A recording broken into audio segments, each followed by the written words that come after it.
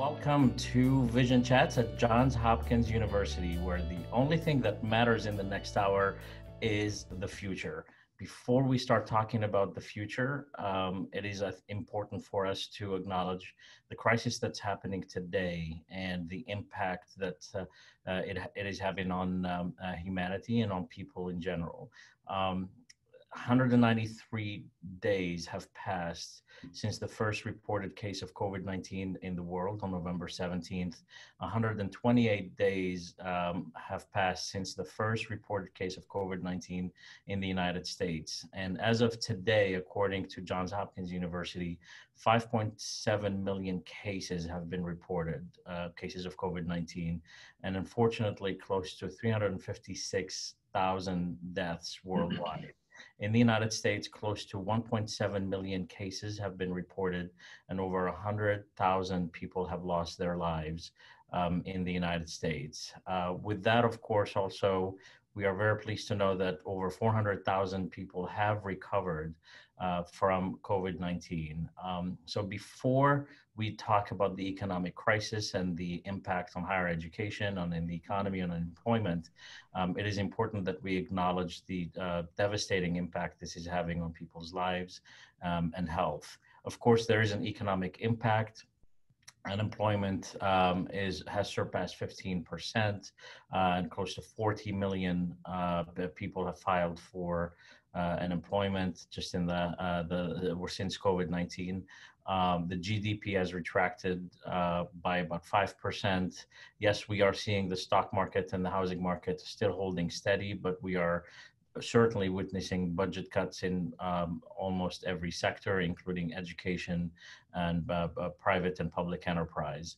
We are also seeing major paradigm shifts in our economy and in various sectors.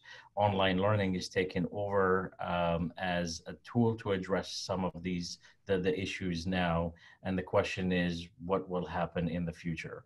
With me to talk about all of these things today is a person who I've admired for a long time. And I often say in close circles that when I grow up, I want to be like Paul LeBlanc.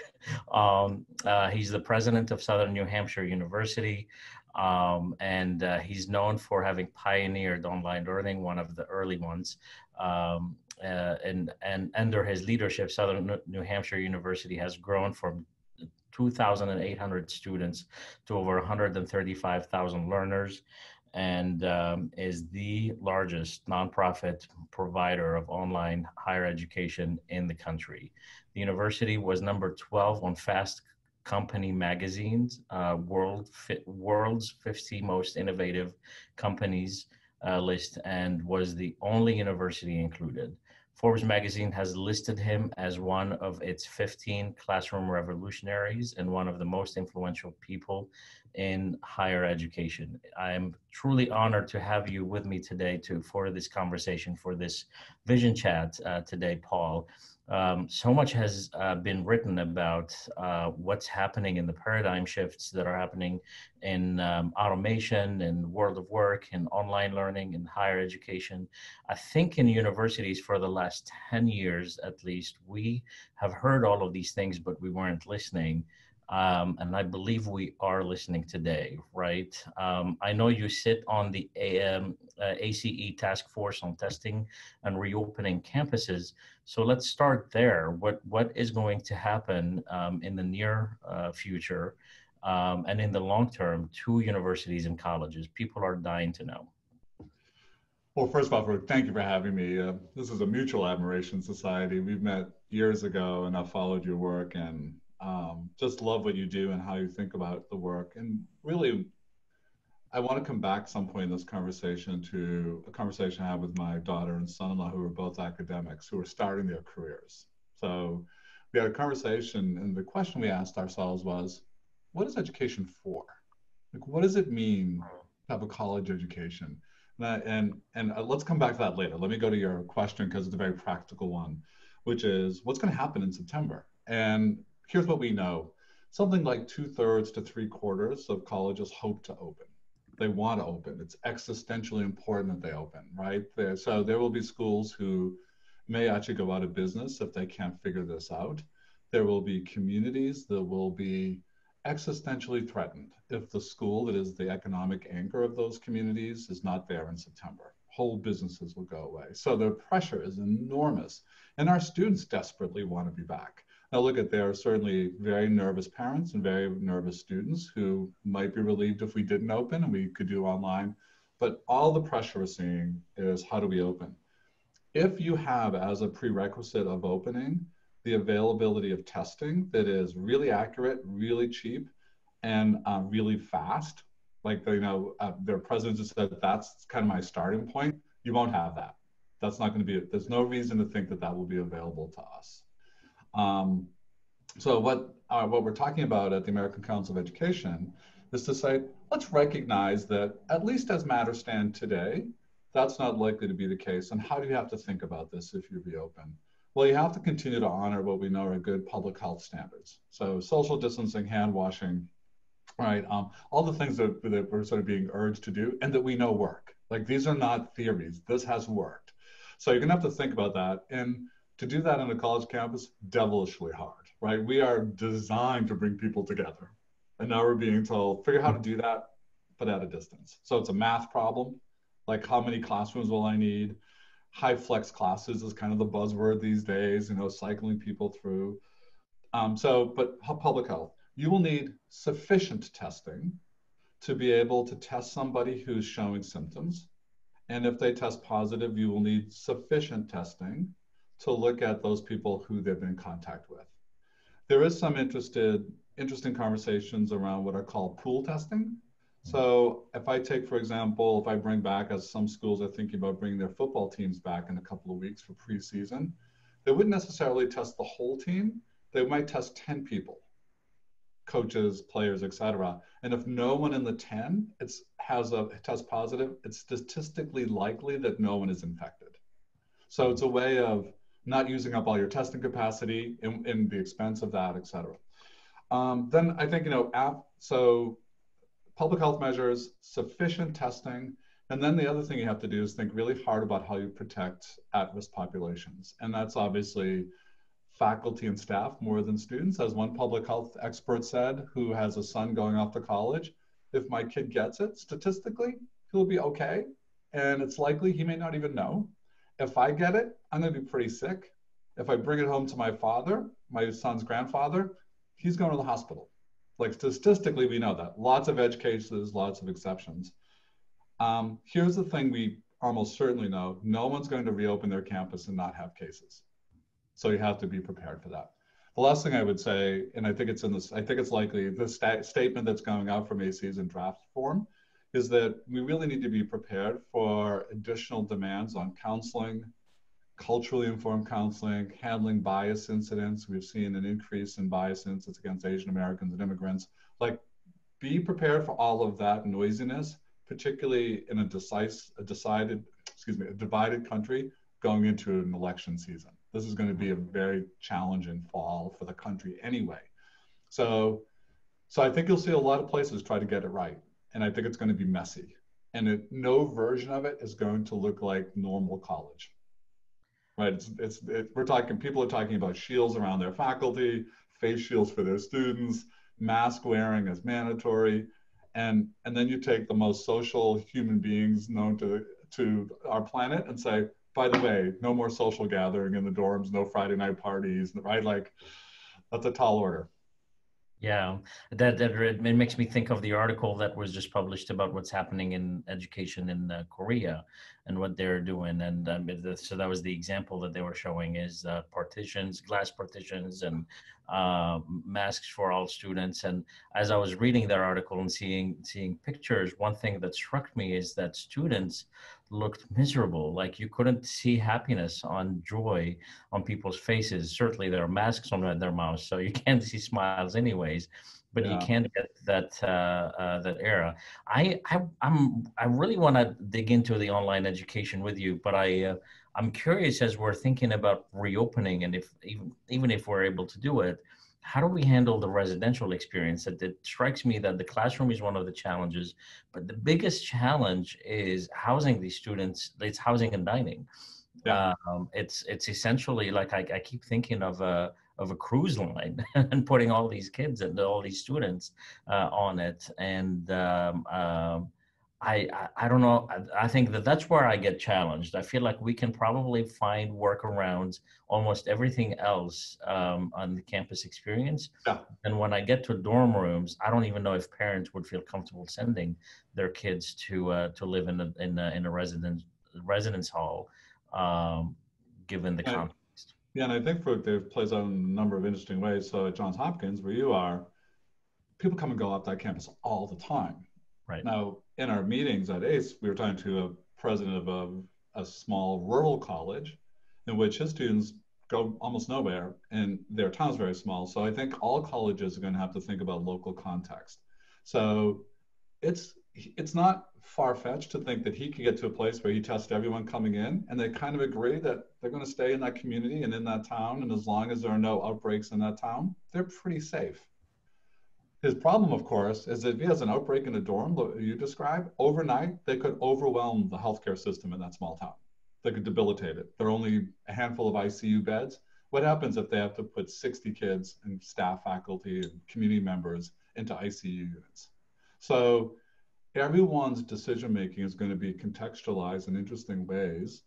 And it, you could very well see in the same community, one school open and one school's closed mm. because their resource. So Hopkins has, you know, amazing medical resources, scientific resources. So I think of you as closer to being something like UC San Diego, where you see one of the most aggressive approaches to a reopening, right? Massive testing, contact tracing using platforms like the ones used in South Korea, really harnessing technology, two medical centers, right? They can bring a lot to bear. Um, but a school down the street may make a very different decision. And what we don't know, and I think you touched upon it, we don't know how many parents will say, I'll take that chance. We don't know how many students will say, I'll take that chance. And I was speaking to a member of the faculty at a very one of the elite top five law schools in the country who said to me, I don't care what the law school administration says. We've talked to as a faculty, we're not coming back. right? And if you take a look at a lot of schools, I don't know what it is at Johns Hopkins for, I don't know if you guys have sort of looked at this data, but how many of your faculty are 65 and over? Yeah. Probably a pretty good portion. Yeah. Yeah, we have, and there, are there. I mean, there are a number of challenges that um, that our faculty are are um, uh, are facing, and you're you're absolutely right uh, uh, about that. Um, I um, I'm, I'm I'm challenged by so many of the, the concepts that that are around uh, just trying to come back to uh, residential experience, campus experience as we know it. And um, it sounds like, I mean, what you're saying is context is going to uh, matter quite a bit. Um, I'm uh, trying to think is like we are at a, point, an inflection point now um, around the issue, the question of is college worth it? And it's a question that I know we've talked about and we've written about and we've uh, read about for uh, uh, at least a couple of decades now because the cost of higher education continues to increase. But it seemed like the power was always on um, on the side of the university. Yeah. Um, does it feel like now we're at a tipping point? Um, and I want to offer some context for that question. So, one of the things that I've been doing for the last couple of months uh, since COVID 19 broke out um, is hold Zoom uh, meetings with uh, college students and with high school seniors from all around the country just to try to understand how they're experiencing this so that I don't make too many assumptions about what will happen in the future.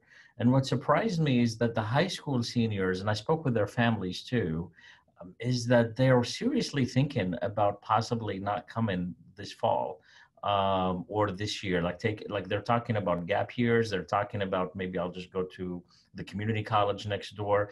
Essentially, the question is why would I go and spend all of this money? Uh, to just have classes on Zoom. So that's one of the things that that has come up a lot. This is, you know, like for, these are students from all around the country. So this could be your students, mine, anybody else, and it, and it's a lot of high school seniors who are coming up coming up. And uh, the second thing that uh, struck me is that the parents who are now for the first time seeing what students are learning, via, you know, like because they're seeing the students interacting with their learning yeah. at home, there, I think I've heard this from a couple of parents who said, "That's what I am paying for." Um, I think they're realizing how antiquated higher education still is. You know, and I'm being critical of my own industry and yours. So, um, so we are. Are we now at a um, um, at a tipping point where actually the power is shifting back to the consumer, to, to the students, um, and they might actually really put us in a position where um, we're um, we're gonna have to either transform or or go away. So I is so where are we now on that question of is college yeah. worth it, and what will students and parents decide to do? So, you know, what you and I and all the data shows that college is absolutely worth it, right? In the last recession, the unemployment rate for people with college degrees was less than half of what it was for people with only high school degrees, and we know the lifetime earnings while not as great as it once was, are still significantly better. So it's a great investment. It makes sense. Um, of course, the choice of college and the choice of major makes that investment go up or down. So if you're taking on a ton of debt in order to be an elementary school teacher, we need amazing elementary school teachers, but we don't, we shouldn't be carrying lifetime debilitating debt for what they'll ever make, right? So, so a lot of questions when you start to unpack the value proposition. But here's what I think is so interesting about the current time. I think it shocked institutions to realize that when they charge $50,000 in a private institution, I'll just pick an arbitrary number, yeah. that the thing that people are willing to pay a lot for is everything that isn't the academic program. It's the whole experience of this coming yeah. of age and an intentional community in which I get to figure out who I am, like your world, right? The sort of designing their life questions. Yeah. Where I get to be and reinvent myself out from under my parents, find my independence, travel yeah. abroad, volunteer in a local organization, find out that I really, really, you know, I'm good at X and bad yeah. at Y. Like, but that shouldn't cost value. But the degree program, they want it to be good enough. And I'm going to evoke Clay Christensen, my old friend, and passed yeah. away last year, and who was on my board for many years. Two jobs to be done give me an education that allows me to make good money and have a decent job. Yeah. They mostly give us the benefit of the doubt on that. They don't even ask a lot of questions, really, some reassurance, and give me this amazing experience. And if you look at institutions, they, they think the most important thing they do is the first job, and it's really important. And I think they don't fully realize that the job that people are willing to pay a lot of money for is the second job which is this amazing coming of age experience. So when we've seen kids go home and be asked to pay full tuition, like, Mm-mm, I don't pay full tuition for this, the academic piece. I pay full tuition for the whole thing. And I think even a lot of the, I'm not, you know, this isn't the same. It's like, of course it's not the same. Yeah. Right? You're not having that experience of being in the dorm, falling in love, trying out for the JV field hockey team, going to Florence for a semester. So, so we're getting a real lesson in what the market tells us is valuable to them. So it's I would say yes to your question. A college degree is still very valuable, but if you separate the degree from the coming of age, there is a reason why online education is less money, and it's not because it's worse. Actually, the best online is every bit as good and many times better.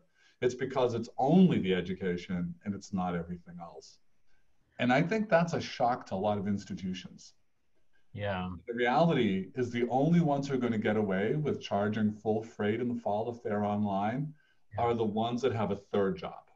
I mentioned two jobs, right? I said there is a job that is about getting a degree, there is a job that's about coming of age, but there is a set of schools that do a third job, which is status elite institutions that give me a value added network when I graduate and are a very strong signal to the world that I'm smart.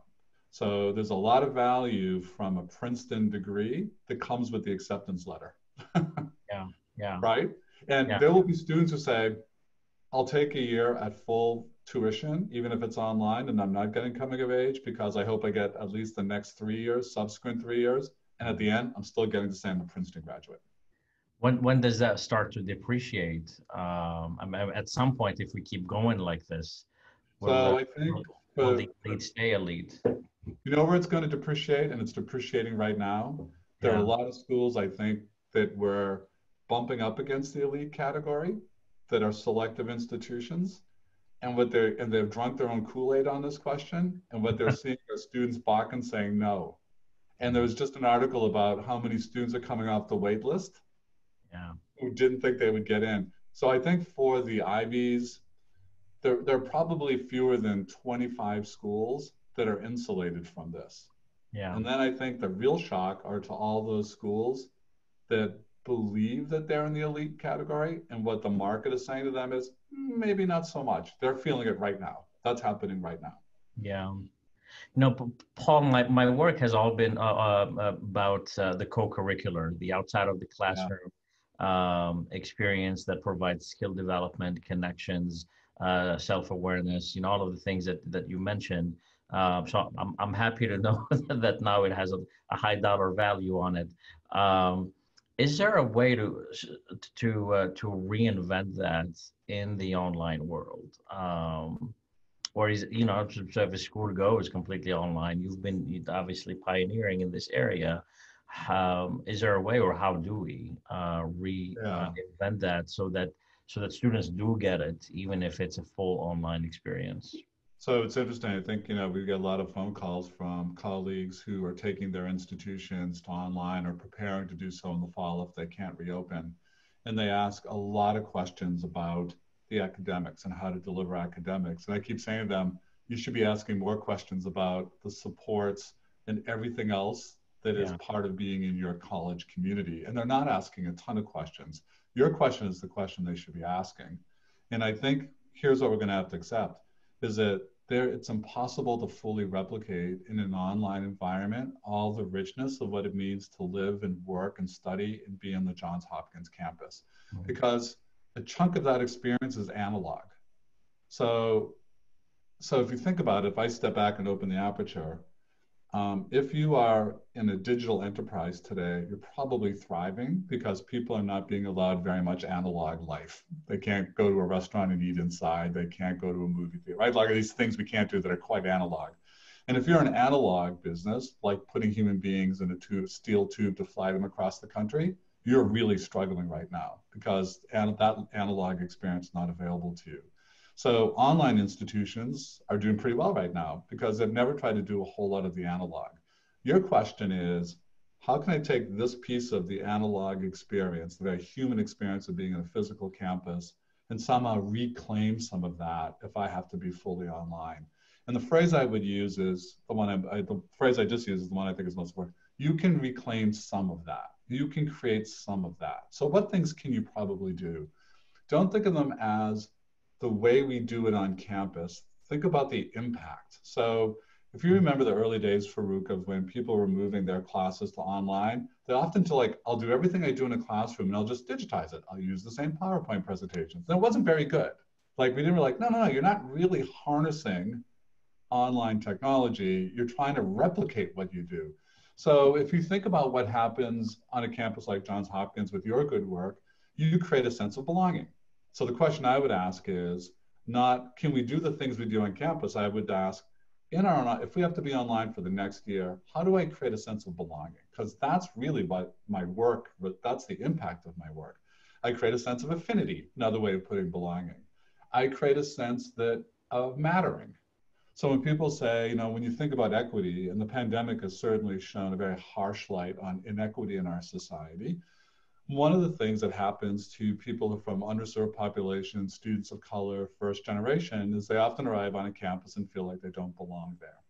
A million signals, like you know this, the the hard part of equity work in higher ed is not financial aid. Like that's the expensive part.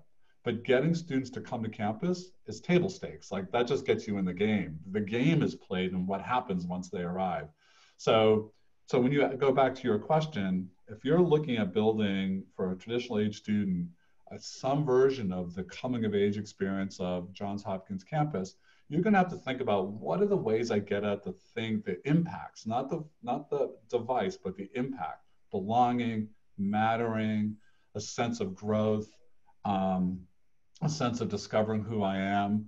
How do I take this idea of you know um, the things that are easy on a campus and then that are hard in a digital environment. So how do I account for serendipity? How will my students meet new friends? Right? Like one of the joys of being on a campus is meeting new people. How will that happen in this environment? if what I'm really focusing on is giving them classes online? How do I build off that, right? And I think, you know, when we look at our online students, um, they're 30 year olds with kids and jobs. They've been in the military. They tried college 10 years before, it didn't work out, or life got in the way. They don't need coming of age. Like, they don't need what we're talking about. They need some of it, right? They need academic support, they need career counseling, they need mental health counseling sometimes. That's kind of the base of Maslow's pyramid. But I think the question you're asking and the big challenge, and we don't have a particular answer on this, right? When we're as we look at our traditional age campus, about 4,000 students, and we look at moving them online, we have a whole new task force stood up right now to ask these questions. Like, what do we do with our adults, our 30 year olds that will be helpful?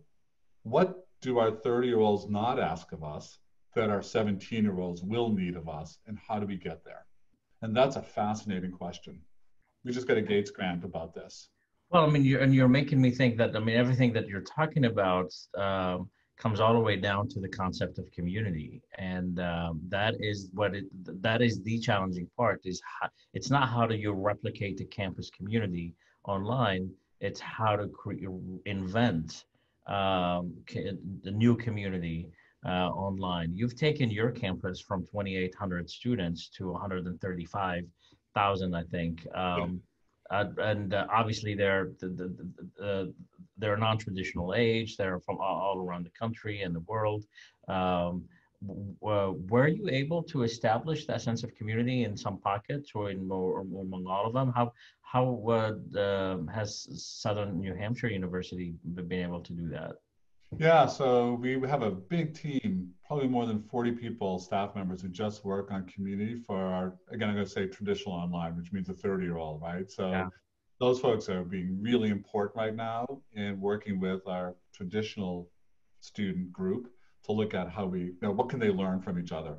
But for the, so traditionally, go back to your question, our traditional, um, our, let's rephrase this, for our non-traditional age students who are the bulk of our online learners, um, there's lots of community. It's interesting because they may be 30. Oh, by the way, that's an average, right? So they're also 40 and 50 and 60. Um, they want to know that there's a campus that they can plug into, even if they never set foot on it.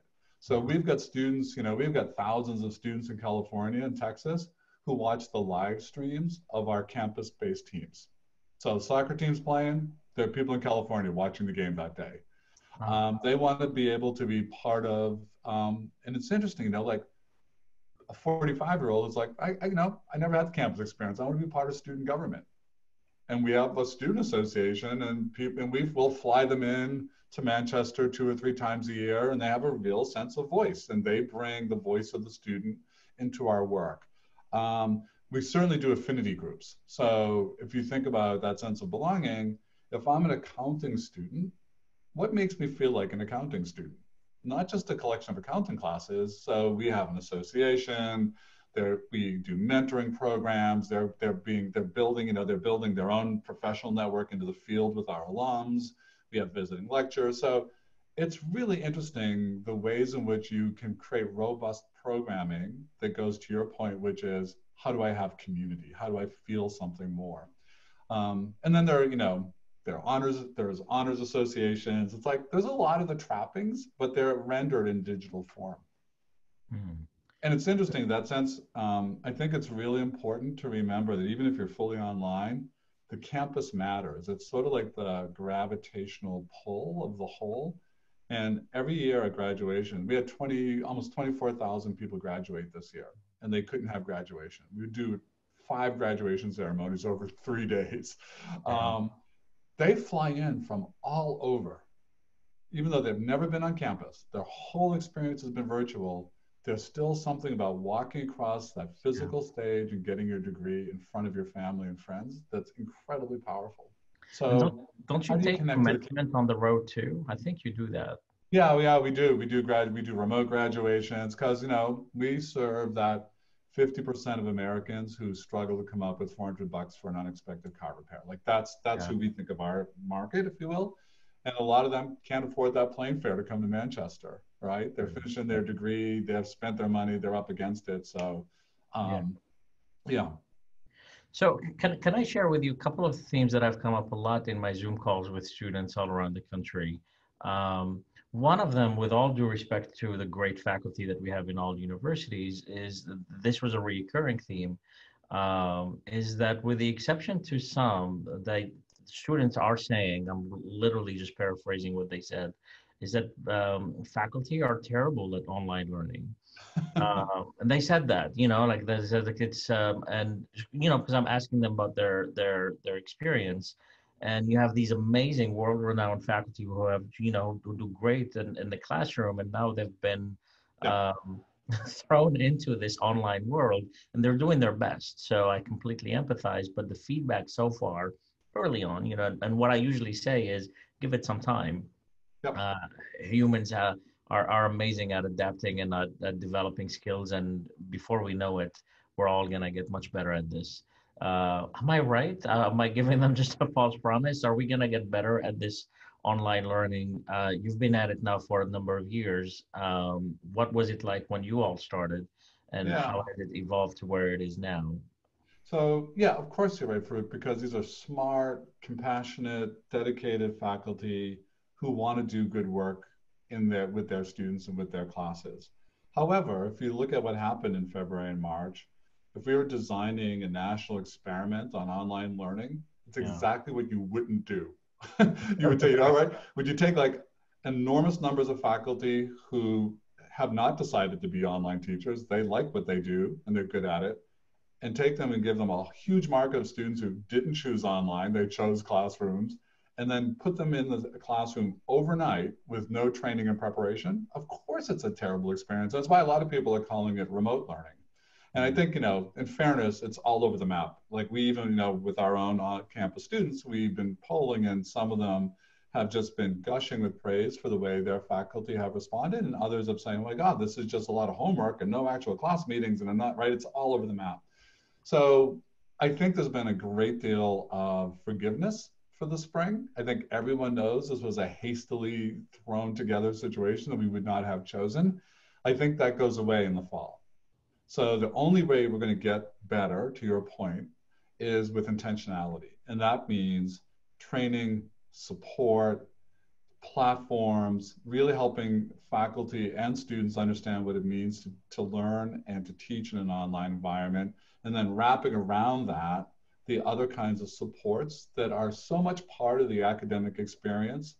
But faculty and students, when they think about the classroom, they're often not thinking about the tutoring center, my peer tutors, uh, the writing center, the counseling center, like all of those things are extensions of the happen what happens in the nucleus of the classroom. So it's going to go back to my earlier point, like yes, train your faculty, design the courses, take advantage of what it means to be online. Don't try to do what doesn't work very well in online. But almost as or more important, think about the whole ecosystem of learning in which a class sits. Doesn't sit in isolation. It's not just a faculty and a student in a classroom. It's an ecosystem, which includes other students. So how are you going to think about that? So it's a very tall order, and schools that either decide not to reopen or try to reopen are forced to close, which is a very likely scenario if we see a surge again. Um, they're going to have to be much more thoughtful than they had to be or had time to be more fairly uh, back in March. Yeah, I you know what I'm what I'm seeing a parallel here be, uh, between the experience of faculty now and the experience of non-faculty educators. So these are the, the support staff, the uh, um, uh, counselors and academic advisors and uh, career coaches and you know people like that who for for a number of years now for at least the last couple of decades have been forced and have had to um, get their engagement game on that just her and and what that means is uh, uh, uh adapt new uh, to new platforms integrate them, use them. Uh, they have to become really, really good marketers of yep. their work because the engagement with them is optional for students. They don't they don't get a grade for it. And uh, all of a sudden, I think faculty now are that same uh, line where they have to to adapt to these same types of um, um, of measures. One of the feedback that I heard from students is that um, the faculty that they praised at doing at being really good at this are the ones that um, have before COVID 19 uh, been naturally engaged in social media, used other apps other than ones provided by the university, anyways. So they they didn't just take their slides and put them on Zoom. They started integrating a bunch of technology platforms to uh, uh, enhance the student experience. And what that makes me think is that what universities of the future will have to do is um, in addition to training and all of the things that you mentioned is actually reinvent the entire technology infrastructure uh, to ensure that faculty are, are tapping into that and, and creating that enhanced experience. Um, I wonder if that's something that you've had to do at, at uh, Southern New Hampshire University and then and how you've invested in that area and what we can yeah, it's, it. it's huge. So um, I think you're absolutely on target, Farouk, and I think that it's a race without a finish line because the technology keeps evolving and the adaptations of technology by particularly by young learners continues to evolve. So if you've ever tried to email students you know two weeks later like oh i'm sorry i never checked my email like who uses email? It's like so 90s right? Um, i live on email they don't. Um, so we have spent tens of millions of dollars on our technology stack.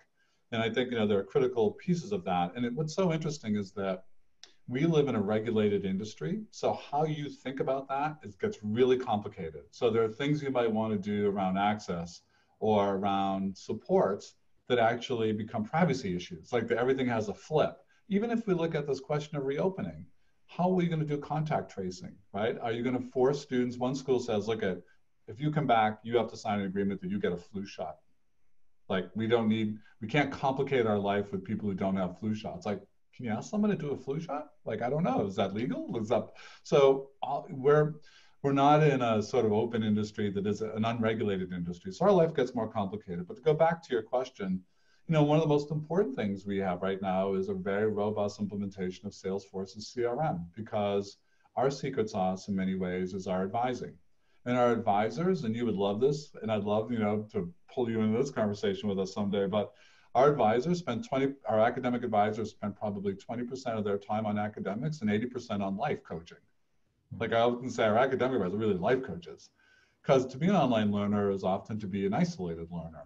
So to whom does it matter that you're actually doing this work? You know, you're, you're it's 10 o'clock at night, you're sitting at the dining room table, you're laboring over your stats assignment. It's hard. You haven't been in college in 10 years. And in the other room, you can hear your spouse and kids laughing at your favorite television show. Where do you want to be right now? And it's the advisors who are the ones who like encourage and cajole and make sure you're staying on pace. All of that incredibly important human interaction is actually supported and amplified by a very powerful CRM. Like that technology is what makes us really good at the human piece. And I think when you, you know, you evoke communication or how people will engage, you know, we have teams that look at all of that. So we have teams that are looking at VR and AR, right? Uh, some immersive learning environments. Uh, how do we do better assessments? How do you take assessment uh, from being kind of a, I would argue, almost a sort of power, a misuse of power, to assessment as being a learning tool? Um, right? So it becomes assessment becomes a welcome part of how I learn as opposed to something that I get a stick that I get hit with.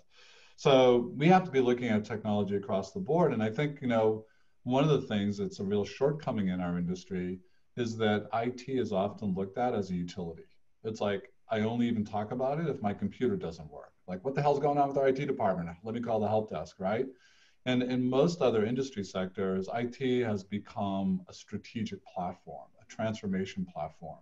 And I think the most innovative universities think of their technology platforms in the way that you evoked. Um, but the bulk of universities tend to still think of it as a utility, kind of a necessary evil of what it means to live and work in this day and age. So when we really set out on this journey to think about what it means to be a digital organization, which is how we think of ourselves quite often, um, we hired the former managing partner of global technology for BCG. And he's the one who observed and said to us, you know, all the discussions at SNHU about technology are sort of like utilities. But it's actually technology that's going to allow us to transform what we do. Like, how can we're not be more strategic about this? And it really gave us a different frame of thinking for technology and the work we do. And right now, the thing we are doing is going through almost every single process that a student experiences with us to ask, where can it be digitally or virtually delivered, algorithmically delivered, and where should it be a human? And let's put humans in the places that matter most and that are most impactful for people.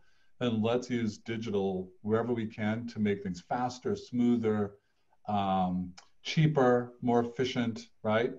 I mean, the reality, Farouk, is one of your students at Johns Hopkins could probably, in less than a half hour, get a $500,000 mortgage online, and then compare that to what it means to fill out the FAFSA and go through the financial aid process for yeah. fifteen thousand for fifteen thousand dollars. This is crazy. Yeah. Um, so, so we think about this question all the time.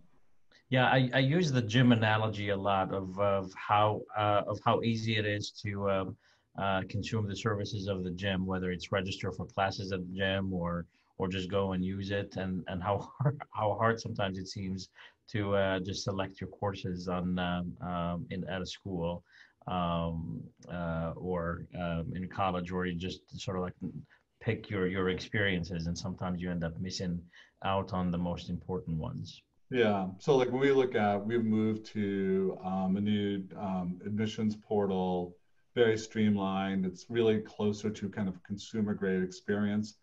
More than two thirds of our students now apply to us on their phone. Mm-hmm. Right? And we want that experience to be closer to an Amazon experience mm-hmm. than you know paperwork and triplicate with all of these other forms. Um, and and and it's just not a place that higher ed spends a lot of time thinking about. And it's yeah. kind of remarkable, don't you think, Farouk, the degree to which students put up with really poor consumer experiences. Like in reality, I bet at Johns Hopkins, you probably can't use the phrase customer service. I know I can't, and we're pretty innovative. And if I try to use that on our traditional campus, even online, people are like, do we have to use that phrase? Like, right? Um, and, and we think, yeah, but why do we make it so hard to manage the transfer credit process? Why can't we have good customer service in the transfer credit process? and we get really yeah. good at. Well, I mean, it's that, and it's the value add, it's the the the outcomes, it's all of these things that tend to be to create friction points with the academic culture uh, of the university because uh, we're still hanging on as a, um, a culture of higher education to uh, the idea of what is of the, that's around the purpose of higher education. Uh, all of it, I agree with. You know, what the purpose is, it's to grow minds and to uh, contribute to society. And uh, um, but at the same time, I think when when cost uh, is up uh, at, at, to the points that it is now, uh, then value proposition becomes an important question, and it is now more than ever uh, before. Um, the customer experience, satisfaction, and return on investment, which I know is also another term that uh, uh, we we uh, run uh, away from a little bit. Yeah. But uh, is so is this are we is this the moment where we actually feel like now higher education has no choice? We we are now moving more towards those uh, elements and. Um, we're beyond just the friction point where we have to dance around it. It, it is what it is. So here's what we know, Farouk, right? Historically, when the nation has gone through a catastrophe like this one, higher education has been reinvented. So, out of the horror of the Civil War came the Morrill Act, the creation of our land grant universities, and arguably the public university system. Out of World War II, and arguably the Depression, came the GI Bill, and some would say the great democratization of higher education, and a whole new wave of institutions that didn't exist before. Um, you could argue to a lesser event, the events of the 60s, the civil rights movement, et cetera, started to change higher ed. I don't think it's as dramatic as my two prior examples, but this is a national, global catastrophe. And coming into it, higher ed was already broken. Like, what do we, what's different today that we did not? We already knew that online education was increasingly high quality and effective and something students want. That's just borne out in the data, the numbers. Students are voting with their feet. We already knew that we were increasingly out of reach of so many students, especially if you have offer a campus experience. $1.6 trillion of debt. There's a reason that last fall, the free college movement actually became an important national dialogue in the Democratic primary, in the national dialogue, right? Like these things are not new. Um, we knew business models were broken and schools were very fragile. All of those truths have been amplified and processes have been accelerated by the pandemic. And I think even more importantly will be the scale of the recession. So in 2009, which is a very bad year, we had about seven and a half, eight million people unemployed over a two year period. And as you said in your opening, we're over 40 million people. Right. It pales, 2009 pales by comparison. So your answer is like higher is not going to have a choice. It is going to look different. And then the questions will be, what are the ways that that happens? And I think the pandemic, and in some ways even more forcefully, the recession, will be the great forcing factor that gives us a new vision of what higher education looks like. And it doesn't have to be an impoverished vision. In fact, it could be an opportunity to address a lot that doesn't work very well in higher ed, to have bold, new, imaginative vision for what higher education looks like. But like all sort of cycles of destruction and rebirth, it's going to be very painful. Right. Yeah, for a couple of years too, because we're you know we're we're looking. I mean, as I said at the beginning, we're we're looking now at a GDP GDP retraction of close to five percent uh, economists are predicting that we will be at close to um, 15% retraction, which is at the levels of uh, World War II.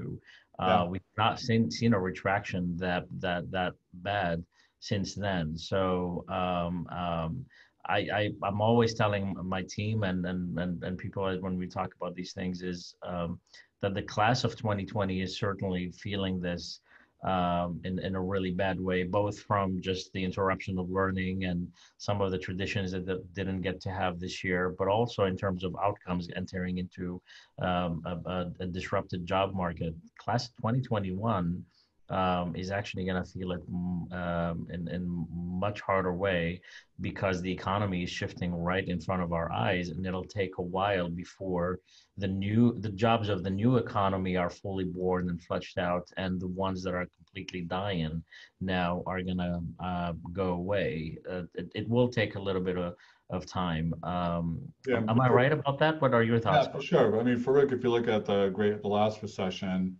65% of the jobs that went away didn't come back. Yeah. So we went back to pre recessionary employment. It took about 10 years, it took a long time to get there. Mm-hmm. But when we did, most of that, 65% of that was driven by new jobs, new kinds of work that didn't exist in 2007. Um, there's every reason to think we will see some version of that. And in fact, we just completed a survey of 900 recently unemployed people and pretty representative demographic stretch from across the country.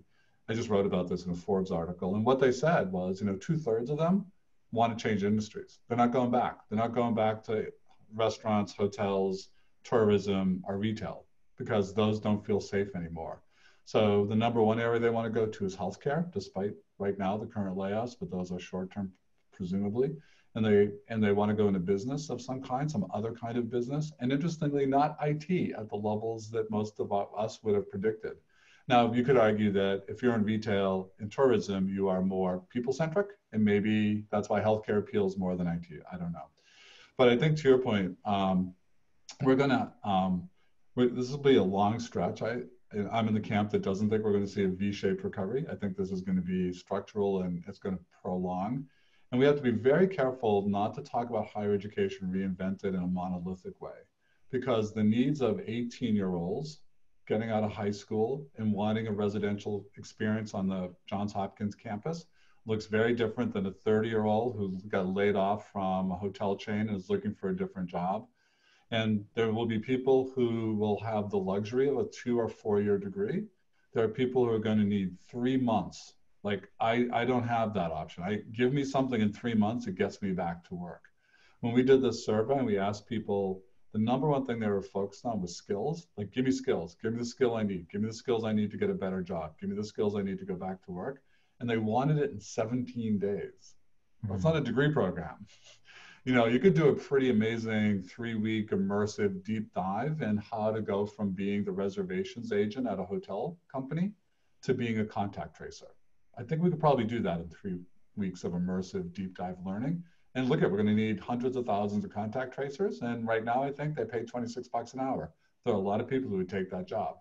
Mm-hmm. So, so that's going to be a kind of work colleges do. And there's going to be degree work and there's going to be online. And all of them probably have to look somewhat different given the changing circumstances of the world.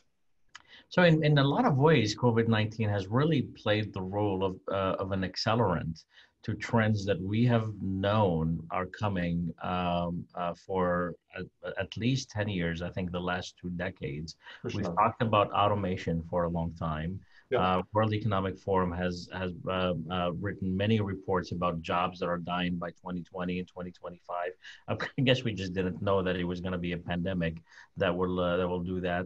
I think there are a lot of reports that were talking about the um, uh, the economy, the economic shifts that we will experience over a decade or two, but now it's all been compressed in a month or two.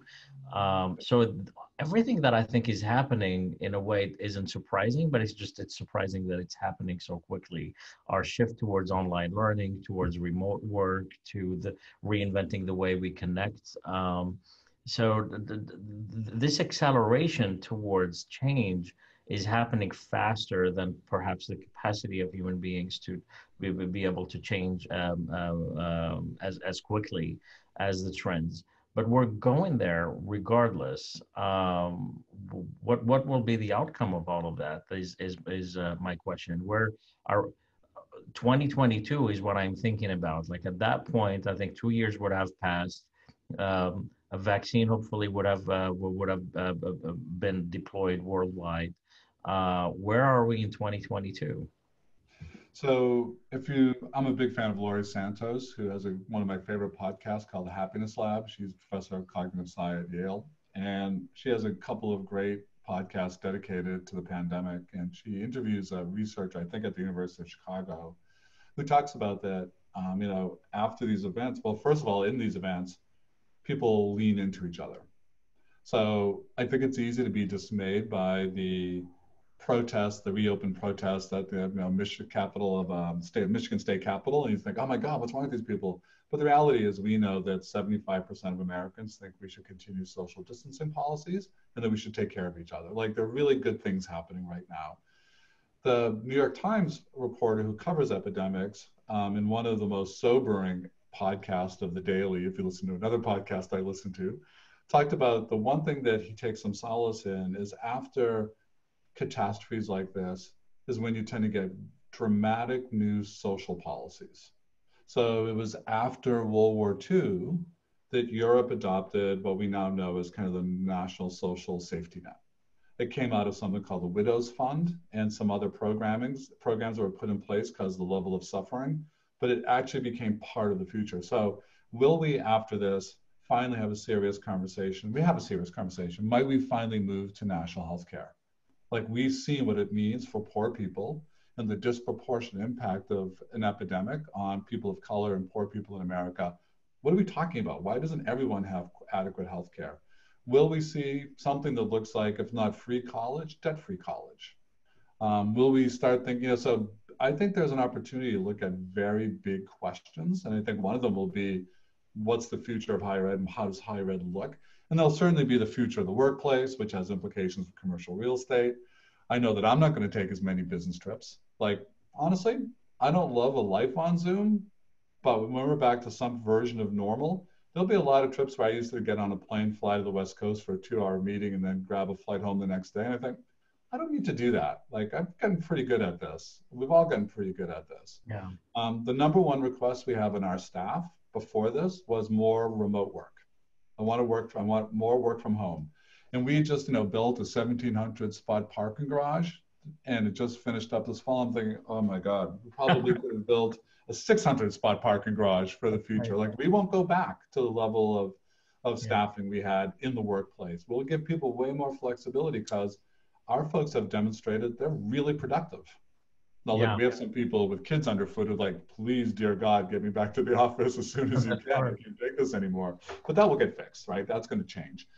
Um, so I think we're going to look at a lot of what's broken. Do you know that you know the Institute for the Future out of Palo Alto? It's one of our favorite organizations. We do a lot of work with them. Yeah. They used to be called Xerox PARC for those of us who are old enough to remember yeah. hotbed of innovation, John Seely Brown and others. Yeah. And um, they have a, a, a saying that I'm really fond of, which is in times like this, things that have long been stuck get unstuck. Things that seemed unthinkable become possible, and the unshakable become broken.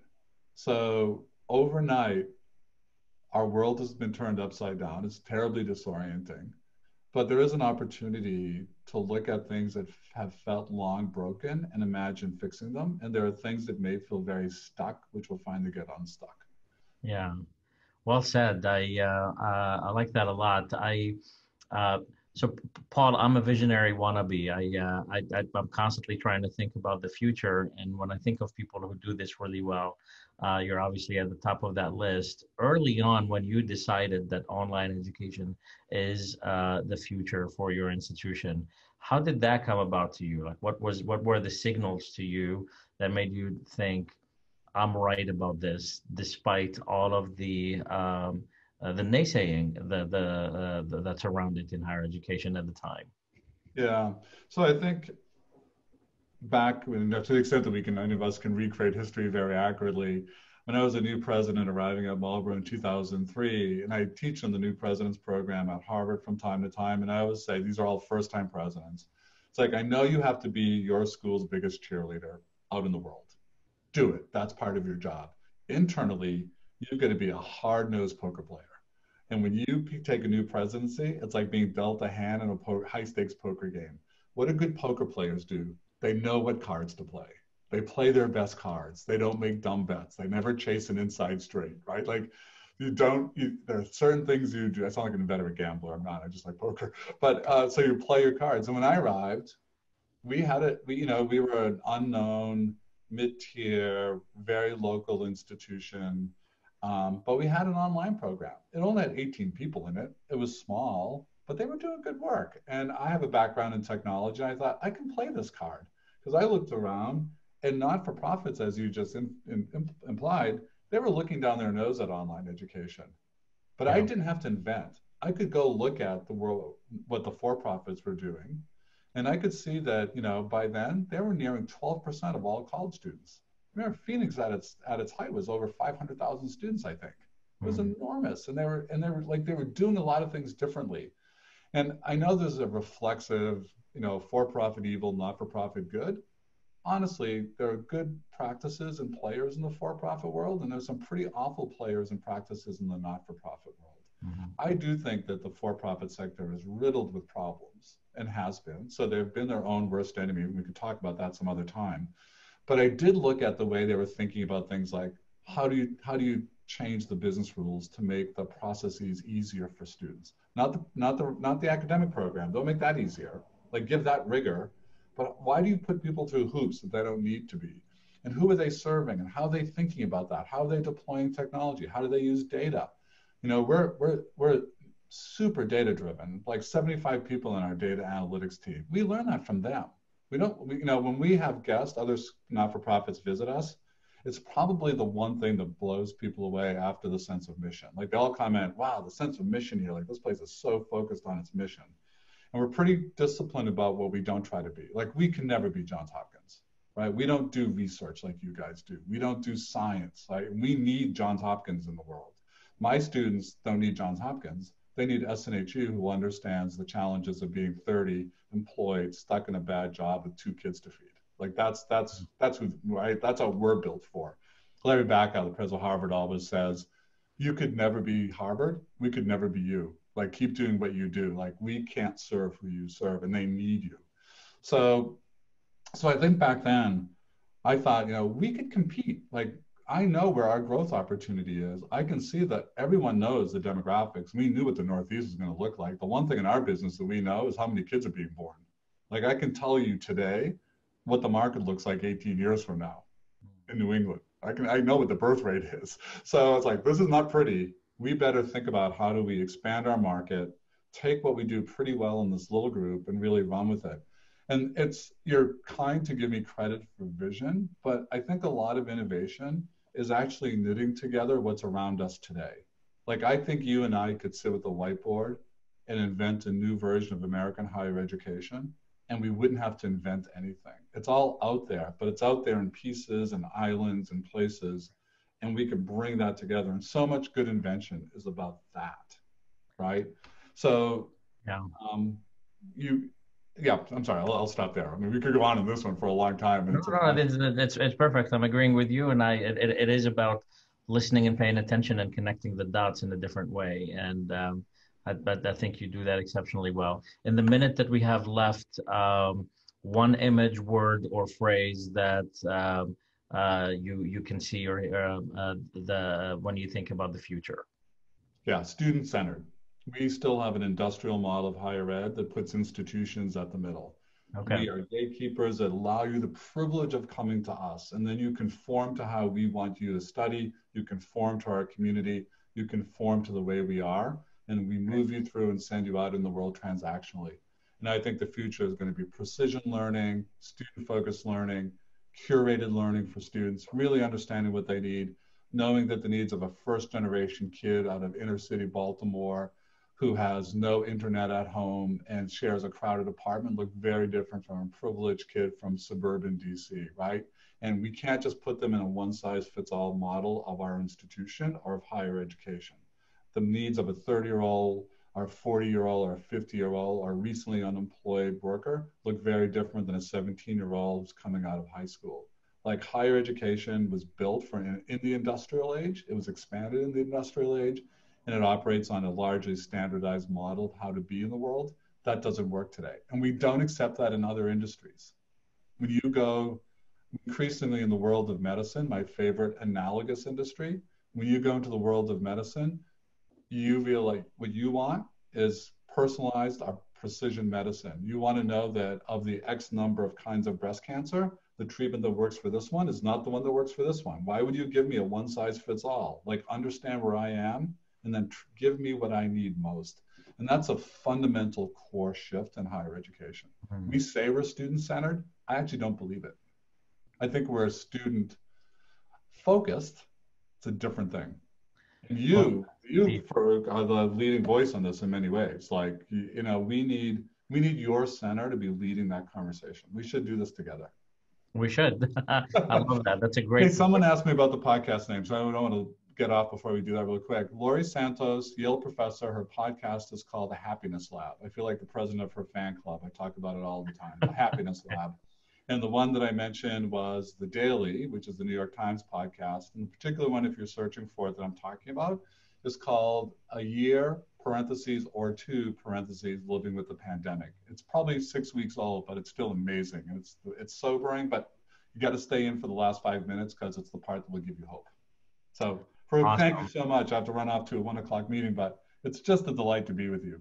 Thank you all. Thank you so much. And I want to thank all of our viewers for being with us today. And um, remember, everyone, there is only one certain vision for the future. It's the one that you create. And with that, I say goodbye. Thank you, Paul. You have been amazing, and I hope we get to do this again. Oh, I'd love to. My pleasure. Take, right. Stay well. We need you. we need you. Thank you. Bye-bye. Take care, everyone. Bye bye. Stay healthy.